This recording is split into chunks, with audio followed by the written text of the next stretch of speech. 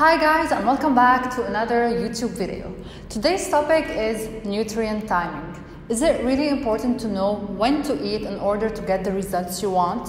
You might have heard that eating a small balanced meal every 3 hours will boost your body's fat burning potential. But is it true?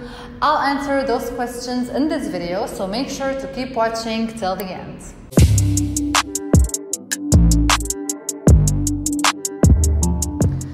Nutrient timing is knowing when to eat, what to eat, and how much to eat during and after exercise.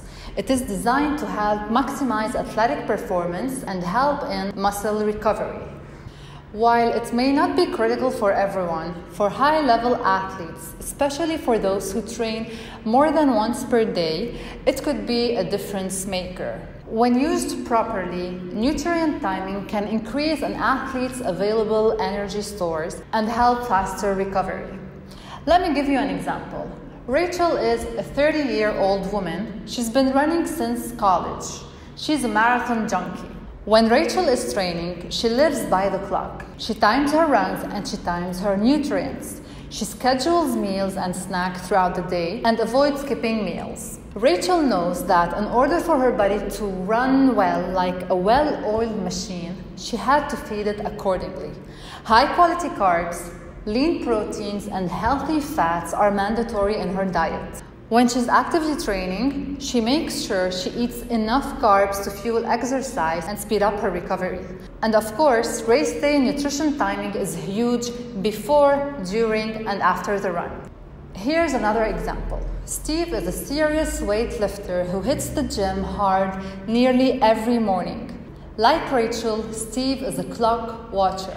For Steve, the main goal of nutrient timing is to provide calories for his intense trainings and to build and repair muscle mass. For Rachel and Steve, eating and hydrating before, after, and sometimes during exercise is key to performing at an optimal level and achieving their specific fitness goals. So, for the highly active and competitive athletes, they might find following nutrient timing strategies useful. But for regular people who are active and trying to lose some weight and just become healthier, a consistent healthy diet with appropriate calories and sufficient carbs, proteins, and fat is more important than the timing of the meal.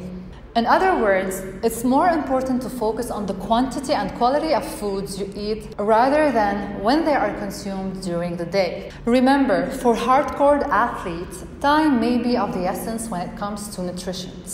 But for the average people looking to lose a little weight or become healthier, the rule of thumb is to focus on what to eat rather than when. I hope you like this video. If you do, hit that like button, subscribe to my channel if you're new here, and stay tuned for more workout videos and nutrition tips.